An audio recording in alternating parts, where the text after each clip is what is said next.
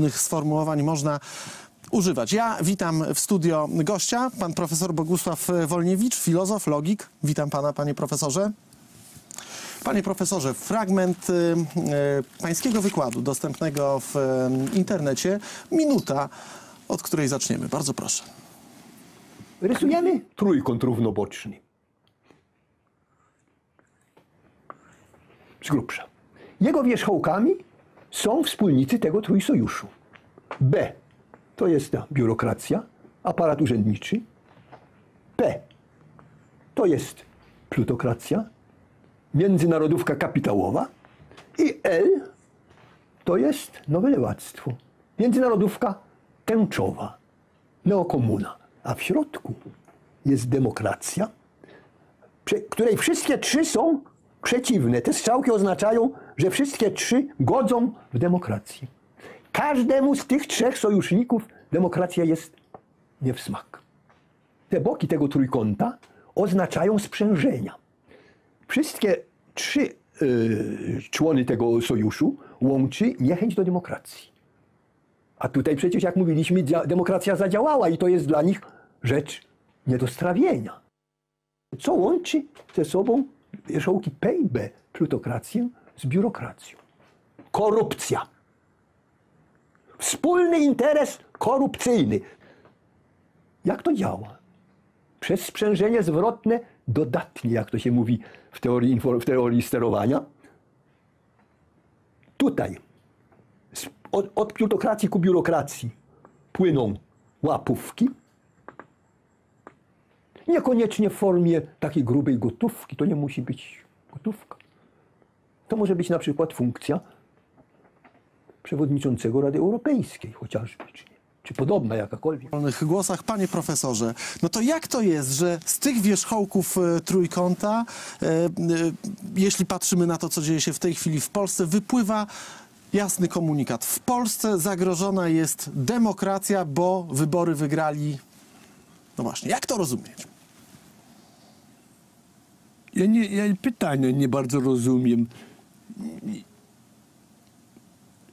Lewactwo w Polsce czuje się zagrożone, jak to ktoś napisał. Odsuwani są od żłobu i odpowiadają na to kwikiem. No to...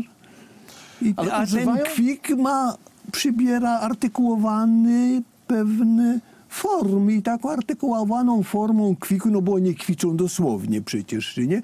Tym dosłownym, tą formą kwiku jest my bronimy demokracji, której ci, którzy w tej chwili doszli w Polsce do głosu, zagrażają. Ci sami ludzie, te same grupy, to samo międzynarodowe lewactwo, kiedy pada tego rodzaju argument, o którym pan powiedział w tej chwili, mówią, to jest odwracanie pojęć.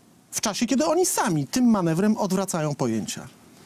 Przepraszam, dlaczego to jest odwracanie pojęć? Że oni, proszę pana, że oni mówią, że to jest odwracanie pojęć, a co nas obchodzi, co oni mówią? My wiemy swoje. My wiemy, co oni robią. Oni robią, no, swoją robotę, której ten trójkąt tutaj został narysowany i ten trójkąt jest dobry, to znaczy moim zdaniem dobry. On oddaje istotę sprawy ale takim wspólnym mianownikiem tych, ni- mianownikiem tych trzech wierzchołków tego trójkąta, to znaczy biurokracji, lewactwa i kapitału, jest wrogość do chrześcijaństwa. I ci, co tak kwiczą teraz tą demokrację, to są wszystko przeciwnicy chrześcijańskiej Europy, tak bym to sformułował. Im Europa chrześcijańska wadzi i obyczajność chrześcijańska im wadzi. Oni chcą to rozwalić. Dlaczego chcą to rozwalić? Ha, proszę pana, o tym by dużo mówić. Dlaczego lewactwo chce rozwalić chrześcijaństwo? Ale generalnie powiedziałbym tak. Dlatego, że chrześcijaństwo jest ostoją demokracji. Przez to, że ono gwarantuje prawdziwy podział władz. Mówi się o tym podziale władz od Monteskiusza, zresztą słusznie, na te trzy władze ustawodawczą, wykonawczą i sądowniczą. To są ważne podziały, ale one są wtórne. Podstawowym podziałem jest podział na władzę świecką i duchową. Państwo i Kościół. Otóż to, że te dwie siły trzymają się w równowadze, na tym została zbudowana Europa. A i lewactwu, i biurokracji, i kapitałowi ten podział władz wadzi. Panie profesorze, ale na przykład e, państwem niemieckim, formalnie przynajmniej, rządzi partia, która mówi o sobie, że jest chrześcijańską demokracją. My nie patrzymy i nie słuchamy tego, co oni o sobie gadają, tylko patrzymy na to, co oni robią. A oni są w tej chwili w szpicy tego lewactwa, tak jak to pytanie państwa tutaj brzmiało. Oni są w szpicy tego lewactwa, które ro- Europę rozwala w tej chwili przy pomocy islamu, w stosunku do którego pełni rolę piątej kolumny. Jak pan rozumie przyczyny tego, co się w tej chwili dzieje w Europie, tego kryzysu albo też najazdu, jak pan często mówi? Powiedziałem już przecież. Ten najazd służy tym siłom, którym wadzi Europa, tak jak ona przez półtora tysiąca lat bazie chrześcijaństwa, jako jej kręgosłupa duchowego. I on, te trzy siły liczą, że przy pomocy tego najazdu islamskiego, który wspierają nawet nie po cichu, tylko głośnie cały ton mediów, który oczywiście jest w rękach tych trzech sił, o których mówiłem: lewactwa, kapitału i biurokracji. Cały ton mediów jest nastawiony na propagowanie multikulti ideologii i tym samym stwarzanie osłony ideowej dla tego najazdu, dla tego najazdu lewackiego. Już ta sama terminologia, której się używa, uciekinierzy, azylanci, jakie tam jeszcze się mówi. No, migranci, Proszę? używa, się też pojęcia migranci. tak. Imigranci na przykład. Wszystko to jest propaganda służąca osłonie tego, co się dzieje, żeby ludzie nie zorientowali się, co się święci. I to ma być taran, przy pomocy którego lewactwo, które opanowało Unię Europejską, rozwali i stworzy ten taki amalgamat nie, nie, niezróżnicowany jakiś, europejski, a na drodze, te, na drodze temu rozwalaniu stoi wielka tradycja chrześcijańska. Panie profesorze, ale jeśli światowe lewactwo europejskie, jakkolwiek byśmy Ono jest nazwali, światowe, ale ono ma oczywiście swoją olbrzymią ekspozyturę europejską. decyduje się na to, żeby wprowadzić element, który jest sprzeczny, czy stoi w sprzeczności z tymi podstawami y, religii, wiary, kultury europejskiej, to zakłada, że będzie w stanie sobie z tym poradzić. Czy pańskim zdaniem światowe lewactwo będzie w stanie sobie poradzić z napływem y, ludzi, którzy wierzą, ale w inną wiarę? Wierzą w, czy, czy są wyznawcami islamu, czy też są elementem wykorzystywanym no, też w czymś w rodzaju wojny religijnej, która trwa. Czy, czy to nie jest tak, że to jest jednak żywioł, którego nie do końca da się opanować, nawet jeśli się dysponuje trzema wierzchołkami trójkąta? Naturalnie pan redaktor ma rację, że tego żywiołu się opanować nie da, ale oni myślą, że oni go opanują. Y, Komunizm 150 lat temu startował przecież jako nowe chrześcijaństwo, nowa religia. Stare zostaje wyparte po rewolucji francuskiej i tak zresztą ojciec komunizmu, hrabia de Saint-Simon, wcale nie Marks jest jego ojcem, tylko hrabia de Saint-Simon, swoje ostatnie dzieło tak to nazwał, tak nazwał. Nowe chrześcijaństwo. I oni liczyli, że oni pod tym sztandarem czerwonym, antychrześcijańskim, zastąpią ten sztandar, na którym był wyrysowany święty znak krzyża. To się zawaliło. 25 lat temu spektakularnie się zawaliło, więc oni podnieśli zamiast sztandaru czerwonego sztandar tęczowy i liczą, że pod tym sztandarem tęczowym tego dzieła dokonają. Panie profesorze, czy to, co zbudowane zostało pod sztandarem tęczowym, w tej chwili drży w posadach, niczym 25 lat temu komunizm, czy nie? Nic nie zostało zbudowane pod sztandarem tęczowym. No, koncepcja multikulti, tak to nazwijmy, pana, no, sprzedawana. Ale multikulti to nie jest budowanie, to jest niszczenie. Pod sztandar... że- Lewactwo ma to do siebie, że jest niezwykle sprawne w niszczeniu. I przez to ma wielu zwolenników, bo niszczyć bardzo łatwo. No przecież każdy z Państwa rozumie, że łatwiej rozwalić samochód niż go naprawić, czy nie? Ale tak rozpędzić i go tak puścić w ścianę, no cóż to za efekt, jeżeli się samemu nie, nim nie jedzie naturalnie. Więc tutaj lewactwo, proszę pana, liczy, że oni jak no, teraz tego dzieła, teraz tego dzieła dokończą, trzeba najpierw teren zniwelować, wykorzenić wszelkie pozostałości po obyczajności chrześcijańskiej i na tym postawimy dopiero swoją wieżę Babel.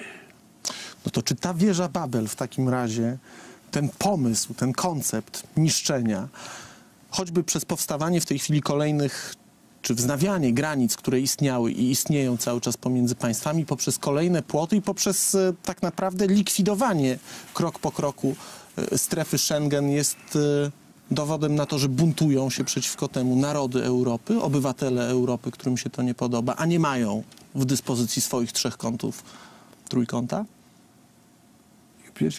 Ja nie zrozumiałem pytania. Jak brzmi pytanie?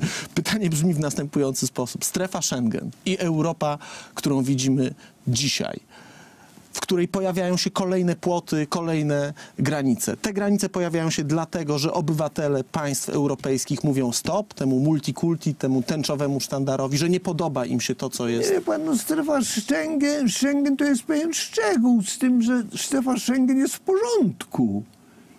Tylko ona powinna być dla obywateli europejskich i dla obywateli Europy, a nie dla tych obcych przybłędów. I jeżeli się ją stawia w stosunku do tych obcych, to jest wszystko, bariery się stawia w, y, na granicach, to jest wszystko w porządku. To tylko problem, problem, panie profesorze, polega na tym, że strefa Schengen polega na tym, że tych barier nie ma, że można przechodzić opierając się na pewnym zaufaniu co do tego, czym jest Europa. Nie, proszę pana, strefa Schengen, jak ja ją rozumiem, może źle rozumiem, tego nie wiem, ale jak ja rozumiałem, strefa Schengen oznacza, że granice państw europejskich mogą swobodnie przekraczać obywatele Unii Europejskiej. A nie byle kto, kto się nam tutaj wpycha. Panie profesorze, to ja jeszcze raz spróbuję o to, co dzieje się w tej chwili w państwach e, europejskich. We Francji być może wygra najbliższe wybory Front e, Narodowy. W wielu innych e, państwach, w Wielkiej Brytanii toczą się dyskusje na temat sensowności pozostawania w Unii Europejskiej. Dlaczego tak się dzieje? Jak pan to interpretuje? No dlatego, że narody zaczynają powoli przezierać na oczy. Ku czemu to lewactwo je prowadzi? Lewactwo zawsze nie potrafiło docenić potęgi uczuć narodowych, jakie w ludziach są. Te uczucia są takie przesłonięte. Na co dzień ich nie widać. Ale kiedy pojawia się zagrożenie, tak jak teraz pojawiło się z, z, śmiertelne zagrożenie dla cywilizacji e, europejskiej w postaci tych najeźdźców, to wtedy te uczucia narodowe się budzą i to z żywiołową siłą. I ten żywioł znajduje sobie różne ujścia. Jednym z takich ujść były nasze wybory ostatnie. Przecież to była główna siła, która wyniosła PiS do władzy. Że narody zaczynały rozumieć, ku czemu ta, ta trójca, do której Platforma Obywatelska była, była gorliwym zwolennikiem, nas prowadzi. Więc Europa się budzi.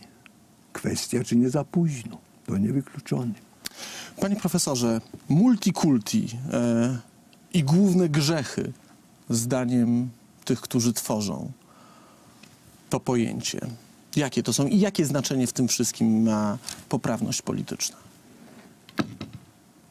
Multikulti to jest pewna ideologia właśnie lewactwa dzisiejszego.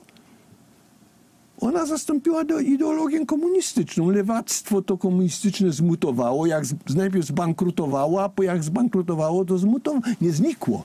Myślano, że razem z ustrojem komunistycznym, którego centrum stanowił Związek Radziecki, zbankrutuje też e, lewactwo. Nie, nie. Ono nie, zba, nie zbankrutowało.